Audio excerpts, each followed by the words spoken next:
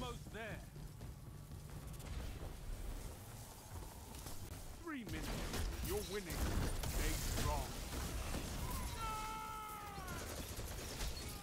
What can stop you if you fight together? Nothing.